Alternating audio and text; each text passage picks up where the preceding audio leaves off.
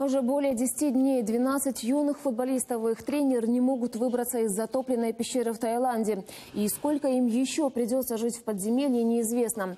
К ним добрались медики и доставили еду. Спасатели ищут альтернативные ходы к гроту и откачивают воду из пещеры. Если пойдут дожди, операция затянется на несколько месяцев. Среди спасателей, к слову, есть и украинцы. Это волонтеры Всеволод Коробов и Максим Полежака.